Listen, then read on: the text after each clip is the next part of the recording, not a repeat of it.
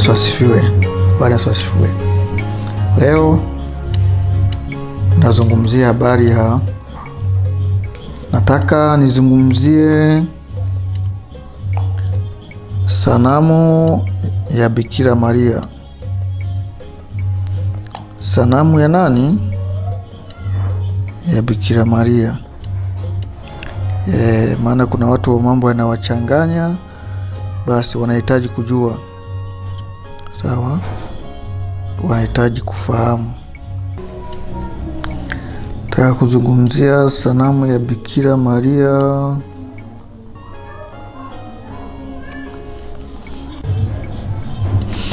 Bwana Yesu asifiwe. Bwana Yesu asifiwe. Bwana Yesu asifiwe. Ah, nataka kuongelea habari ya sanamu ya Bikira Maria, maana watu wengi wanachanganywa. Ndugu, usiishi katika dini, usiweke mahaba kwenye dini, kwa sababu babu yako alikuwepo huko, shanga zako mjomba wako alifia kwenye dini. Maana yake huwezi jua wale wamepotelea wapi, kama wameishia kuzimu na unataka huko. Hawakupata neema ya kulipata neno la Mungu, au alilipata wakalidharau. Nisikilize, kuna mtu anasema hivi, hayo mambo si tuishia tulishaambiwaga zamani bwana na mababu zetu kwamba watatokea makristo waongo, watakuja dini za uongo nyingi. Sio babu yako alisema, ni Biblia ilisema. Kwa sababu ulikuwa ujui, ukazani babu yako anaongea, kumbe babu yako alikuwa anasoma kwenye Biblia. Lakini kwa sababu wewe ulikuwa ujui Biblia, ujui anayatolea wapi, ukadhani yeye babu yako ni mtabiri. Amina. Sasa Biblia inasema hivi mistari mistari mistari kumi na nne mstari kumi na mbili iko njia ionekanayo kuwa, mach, kuwa sawa machoni pa mtu, lakini mwisho ni njia za mauti. Kuna dhambi watu wanaifanya wanaona ni sahihi, yani hawakuna hukumu katika jambo lao wanalotenda, lakini mwisho wanahukumiwa. Waefeso 5:17 anasema hivi, kwa sababu hiyo msi, msi, msiwe wajinga, bali mfahamu nini yaliyo mapenzi ya Bwana. Tena msilewe kwa mvinyo ambao mna ufisadi, bali mjazwe Roho. Amina. Bwana Yesu asifiwe. Tunawaambia kila siku, dini za kipagani zinajulikana. Dini inaruhusu watu wanywe pombe, walewe, wafanye wanavyojua mambo yao. Huo ni upagani na umeona kabisa Roma ni dini ambayo haikubali muujiza. Huo ni ufisadi eh? Huo ni upagani. Huo nini? Ni upagani. Shetani naye anajua Biblia. Kigezo cha kutumia Biblia sio kwamba usifiki kwamba ndio kweli. Mimi nasema ukweli kwa sababu nimeujua ukweli. Kama unachukia kaa hivyo hivyo, endelea kuchukia, lakini mimi napasua njia hii. Usiponikubali leo, usipokubali neno la leo, utakubali baadaye sana, umeshachelewa. Sawa? Hivi mimi si nilikuwa Roma? Sasa Mungu alikuwa ni mjinga leo nitoa huko, akaniambia okoka na kazi yangu. Kwa nini asingeniambia tufanye tu kazi yangu nikiwa kule kule? Niambia okoka na kazi yangu uwe na macho ya rohoni. Mungu Ezekieli amesema hivi, Mungu anamwambia kwamba nitatawanya taifa la Israeli duniani kote, pasiwe na masalia hmm? Wana wa Israeli wako dunia nzima.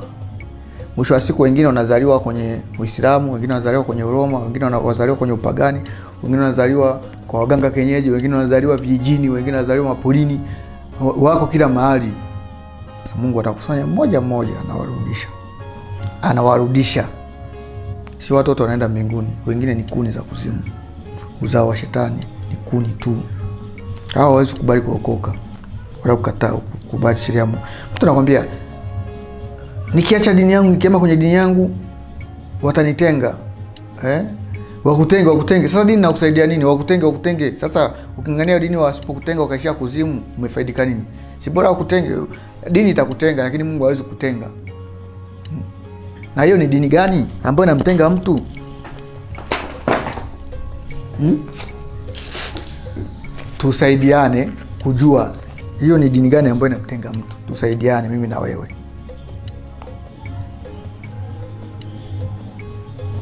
tusaidiane mimi na wewe, hiyo dini inayomtenga mtu, hiyo dini hiyo, kwamba ukitoka tunakutenga.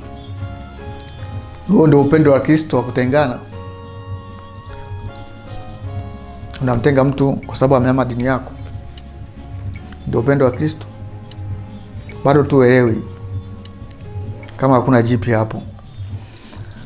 Kabla ya sherehe kwanza mnywe mlewe, eh? Nakwambia eh, amna wapi Yesu aliandika pombe ni dhambi, kunywa pombe. Alibariki mvinyo nani, maji akawa divai, si ndio? Ah, divai divai hiyo ni pombe? Amesema Yesu alibariki maji yakawa divai, sawa, yakawa divai. Sasa nataka unisaidie, sawa, unisaidie wewe. Biblia iendeke kwamba ile divai ilikuwa ni pombe au baada ya kubariki maji yakawa divai? Ulisikia kwenye Biblia wamesema wakanywa wakalewa, maanake ilikuwa divai, sio divai pombe. Soma Biblia ujue Biblia, sawa. Wale ambao leo Biblia tunawapa mifano iliyo hai, kama utakubali ka hivyo hivyo.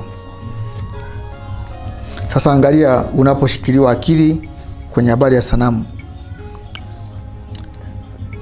kama sio mtu wa rohoni huwezi kunielewa mimi nayoongea haya. Kama sio mtu wa Mungu jihalalishie, kwa sababu unajua mtu mwingine akikaa kwenye dini zile ambazo zinazuia mambo ya kujipodoa, anaona huko hataki ni, nipendeze. Sasa dini gani na ninakuwa na masharti magumu? Mtu anataka eti anaenda anataka kwenda kanisani akiwa ana tamaa zake yeye anazotaka, yani mambo ya kidunia anayotaka yeye asizuiliwe, asisemwe, ndo anataka aendelee kufanyaje kuyafanya hayo. Kanisa la kweli hata mchawi hawezi kuingia ndani. Kanisa la uongo utaona na wachawi wapo ndani. Wapo wachawi wanaingia na wanasali. Wasio wanasema wana Bwana. Kwenye moto moto wa kweli wa Kristo mchawi aweza kaiga Tunajua dini ya kipagani inakusanya tu yeyote mwenye yeyote tu anaruhusiwa kuja kusali. Wala usijali.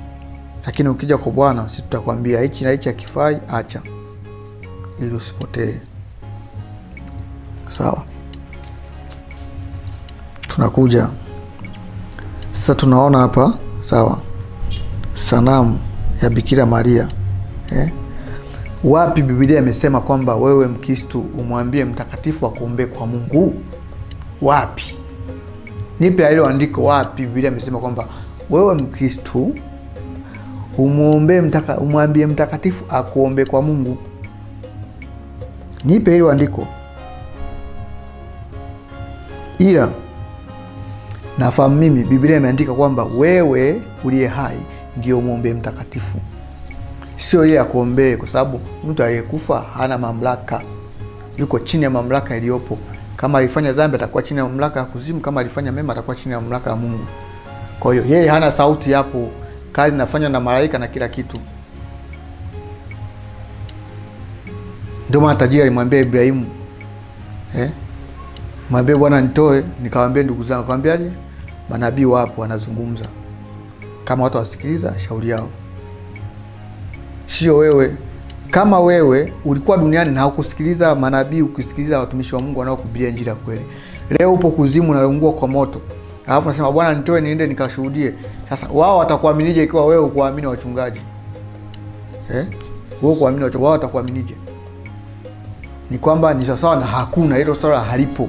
Ndio maana nakwambia endelea kuungua, endelea kula moto. Watu wanaendelea kuhubiri huko, asiyesikia ataishia kwenye moto. Sawa. Sasa angalia Waefeso 6:18 anasema, kwa sala zote na maombi mkisali kila wakati katika Roho, mkikesha kwa jambo hilo na kudumu katika kuwaombea watakatifu wote na mkidumu katika kuwaombea watakatifu wote. Bwana Yesu asifiwe. Sio kumwambia mtakatifu akuombee. Utaki kukubali ukweli, shauri yako, wala sio shauri yangu. Yohana kumi na nne hapa ameweka wazi, anasema hivi eh? Mkiomba lolote kwa jina langu nitalifanya na mkinipenda mimi mkazishika amri zangu nami nitamwomba Baba, naye atawapa msaidizi mwingine, ili akae nanyi hata milele. Ndiyo Roho wa kweli, ambaye ulimwengu hawezi kumpokea kwa sababu haumwoni wala haumtambui. Bwana Yesu asifiwe.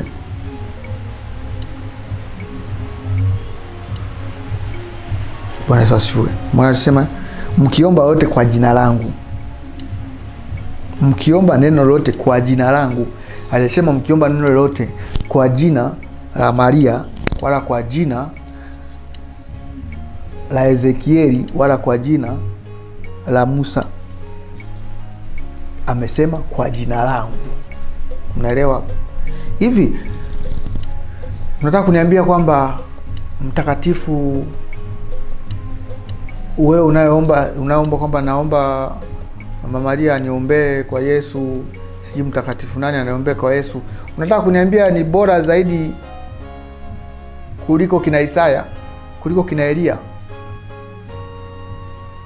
ambao walipaa kabisa eh? na waliomba moto ukashuka. Sasa kwa nini usiombe usiombe Baba katika jina la Elia, Baba katika jina la Musa, Baba katika jina la Yakobo, Baba katika jina la Ibrahimu? Kwa nini usiombe hivyo?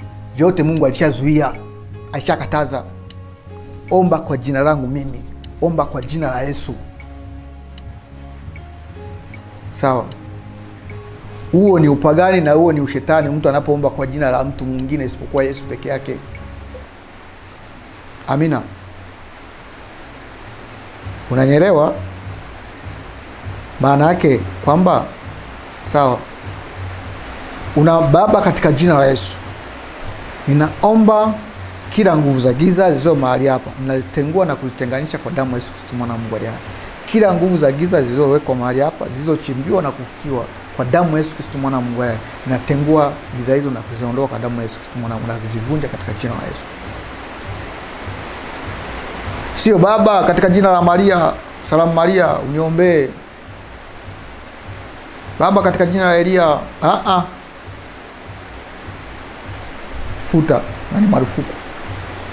Unaweza ukasema Bwana, katika jina la Yesu nakuomba Mungu wangu, Mungu wa Mungu wa Ibrahimu, Mungu wa Eliya, Mungu wa Yakobo,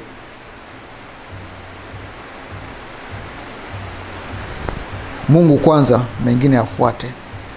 Sio salamu Maria, uniombe, utuombee sisi wakosefu hmm? Tuombee sisi wakosefu, sio Bwana Yesu. E Bwana Yesu, naomba utusamehe.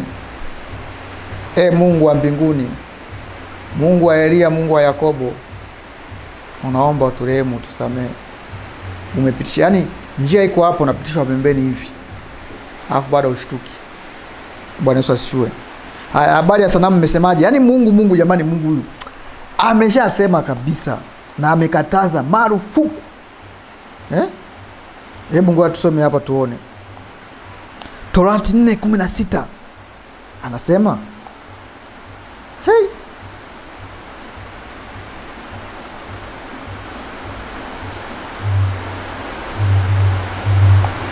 Torati nne kumi na sita anasema hivi, msije mkajiharibu nafsi zenu, mkafanya mkajifanyia sanamu ya kuchonga mfano wa sura yoyote, mfano wa mwanadamu au au mfano wa mwanaume au mwanamke. Mhm. Anasema nini mstari wa kumi na saba? Mfano wa mnyama yoyote aliye duniani au mfano wa ndege yoyote aliye arukaye mbinguni, yaani hata cha mbinguni utakiwa kuweka mfano ukakiabudu, au mfano wa kitu chochote kitambacho juu ardhi, au mfano wa samaki yote aliye majini chini ya nchi. Bwana asifiwe. Yaani usichonge kitu chochote, mfano wa kitu chochote ukapiga magoti na ushasikia habari za ushuhuda, ushasikia kina Ibrahimu wenzizo, malaika akimtokea Ibrahimu mwenyewe, Ibrahimu mwenyewe ajui kama ni Mungu eh? Ah, Ibrahim mwenyewe ajui kama ni malaika, akiona tu amemtokea malaika amemtokea, najua ni Mungu, anapiga magoti na kwanza ku, hey, anamwambia mimi si bwana wako, amka, usitahili kunifanyia haya. Malaika mwenyewe anakataa kupigwa magoti. Sasa wewe Mkristo unaangania kwenye kasanamu hapo unapiga magoti. Ah, oh, tusijui tunafanya ni kumbukumbu, sijui kumbukumbu ya kuenzi kumbukumbu. Kwani kumbukumbu imekataliwa? Kwa nini upige magoti na kwa nini usali kwa jina hilo lako kasanamu? Kumbukumbu hatujakataa, kumbukumbu haijazuiliwa. Sawa. Sasa swala, kwa nini upige magoti mbele ya hiyo sanamu? Na kwa nini uombe Sara juu ya marehemu akuombee? Bwana Yesu asifiwe. Hapo ndipo mwenye makosa. Kwa nini wai? Kwa nini? Tunaona kumbukumbu zipo kwenye majengo. Bwana huyu ndio mwasisi wetu wa taifa letu wa Tanzania, Julius Kambarage Nyerere. Ehe, alizaliwa mwaka gani? E, amekufa mwaka gani? Alifanya nini? Imeisha, tunaenda eh, huyu ndio tuna anaitwa bwana nani? Bwana Mtemi.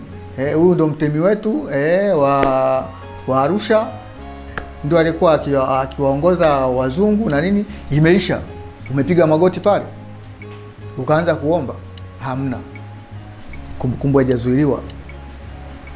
Kichozuiliwa ni hicho unachokifanya sasa. Bwana Yesu asifiwe. Mstari wa kumi na nane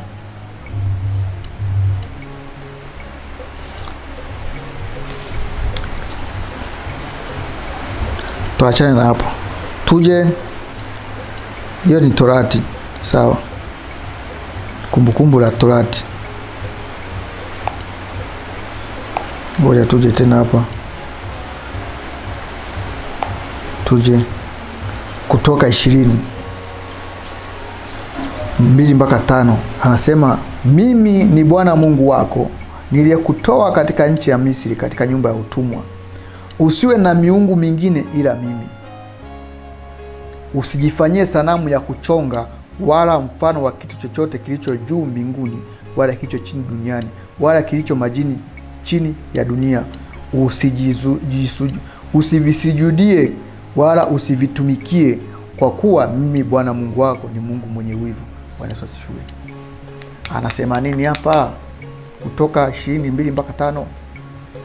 Na chakifanya kwenye sanamu ni nini? Sanamu ya Bikira Maria. Hizi ni amri kumi za Mungu alizozitoa, lakini Roma hii kutoka kutoka hapa, hii namba moja, hii amri ya kwanza hii, mimi ndimi Bwana Mungu wako, sawa. Usiabudu miungu wengine. Hii mstari wa tatu mpaka wa tano wamefuta. Roma wamefuta, hapa wamefuta, hiki kipengele wamekifuta. Subiri.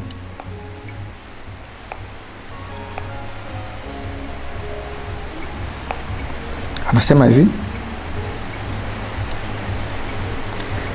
kutoka hapo, nasema mimi ndimi Bwana Mungu wako, usiabudu miungu wengine. Roma wameiweka, lakini hii zingine zote wamefuta, afu wamekuja hapa, usitaje jile jina, jina, usitaje bure jina la Mungu wako. Ikumbuke siku ya Sabato uitakase, siku ya sitafanya kazi, utende mambo yako yote. Mbona heshimu baba na mama yako siku zote upate kuishi sawa. Usiue, usizini, usiibe, usimshuhudie usi jirani yako uongo. Sura ya 16. 17 anasema usitamani nyumba ya jirani yako, usitamani mke wa jirani yako.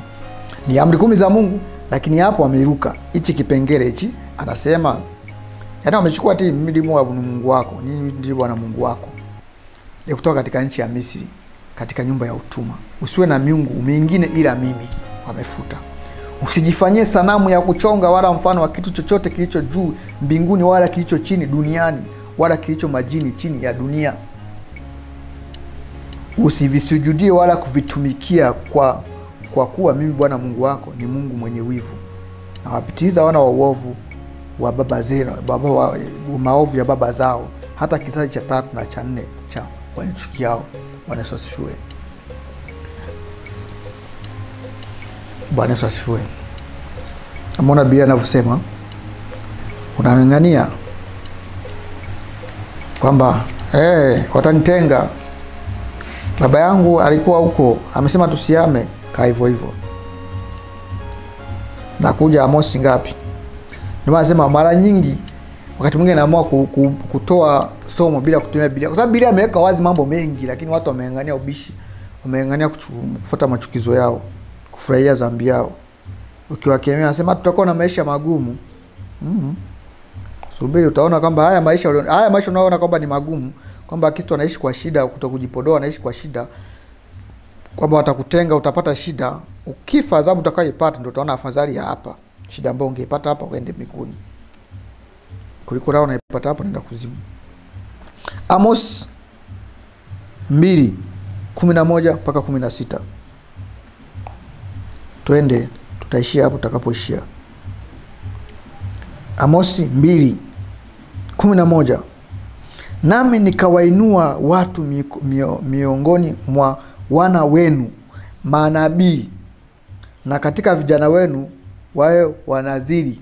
Je, sivyo hivyo enyi wana wa Israeli, asema Bwana? Tunaendelea, kwani manabii hakuna, wanadhiri hakuna, watumishi hakuna, wapo. Twende. Lakini mliwa- mliwapa wanaziri mvinyo wanywe, mkaamuru manabii mkisema msifanye unabii. Twende huko sasa chini, anaeleza adhabu atakayowapa nyinyi watu.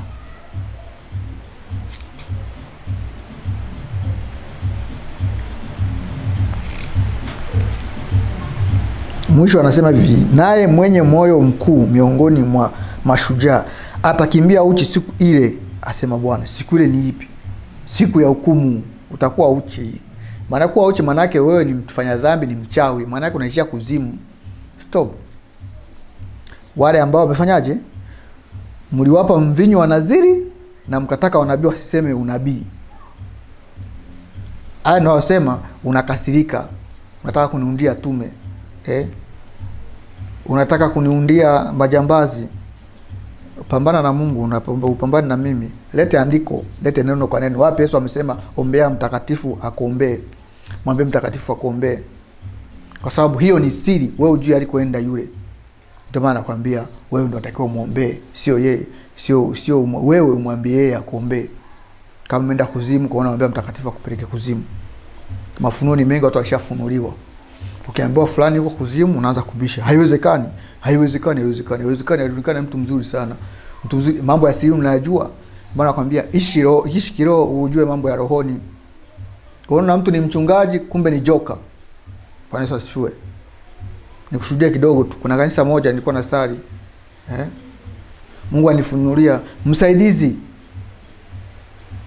ni nyoka, sio mtu, ni nyoka kabisa, nyoka sio mtu. Hmm? Sasa uelewi, kaa hivyo hivyo. Haya ndio mambo ambayo tunakueleza kila siku. Umesikia Mose anavyokuambia, lakini mliwapa wanaziri mvinyo wanywe, mkaamuru manabii mkisema msifanye unabii. Mungu amewainua wanazini na manabii katika vizazi vyenu, katika watoto wenu, lakini mnawapinga. Na bado mnataka wanywe pombe, wawe walevi. Na manabii waseme unabii. Kwa mfano mimi uki- ukienda kwa, kwa nikienda kwa ndugu yangu nikamwambia bwana hivi na hivi, nakwambia "Ah, wewe wewe acha mambo haya majibaja, Asia wewe umepotea, asia umechanganyikiwa, asia aje huko ulikwenda aje, yani wewe umejingwa na Freemason, yani wewe ndio unazidi kuchanganyikiwa kabisa. Mungu yote ameshawaambia hapa, tumeinuliwa ili tuwaokoe, tuwatoe huko mliko, lakini tukija kuwaambia mnaanza hasa kazi mnayo, adhabu iko kwenu iko chini. Soma Amosi mbili kuanzia kumi na moja. Sawa. Bwana Yesu asifiwe. Bwana Yesu asifiwe. Naishia hapo, nimeishia hapo. Mwenye masikio na asikie, mwenye maarifa azidi kupata maarifa, na mwenye hekima azidi kupata elimu. Amina. Usibishane na mimi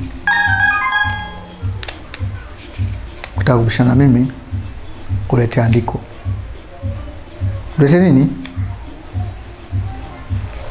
usindetee uzoefu wako, umehudumu kanisani, sijui wewe sijui ni nani, mchungaji sijui ni, ni padri sijui ni askofu sijui ni, ni nabii ambaye unakubali una unakubali haya mambo eh? Ukaanza kubishana mimi, ulete andiko,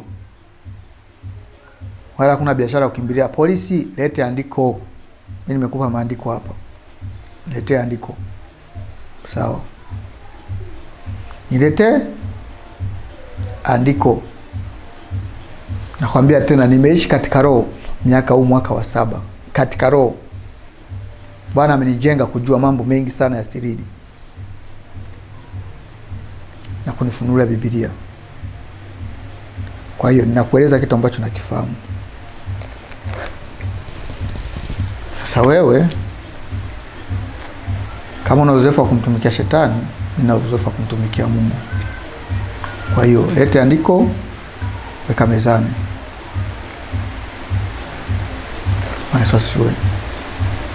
Kama ni nusu pepo nusu mtu, sinaja kubishana na wewe. Amina. Ukweli utasimama pale pale, Biblia haijabadilishwa na itabaki kuwa hivyo hivyo. Kiasi unasema dini zote zimetoka kwenye Biblia kwa Yesu, sawa, lakini mtu akishaanzisha dini yake anaweka sheria yake, anaweka nini? Sheria yake, sio sheria ya Mungu. Anachagua hili zuri, naliweka hili zuri, ah, hili nanibana sana, hii ndio hivyo. Uongo kweli? Unaona, na shetani na dini, niliwaambia shetani na dini nyingi tu zipo, lakini watu hawashtuki. Mna macho hamuoni, mna msikio hamsikii. Macho ya rohoni, masikio ya rohoni, sio haya damu na nyama. Kaa hivyo hivyo. Bwana Yesu asifiwe. Asante sana, mimi naishia hapo. Ukweli nimekupa, hata kama hutaki kusikia ukweli, ndo huo. Uwe na siku njema.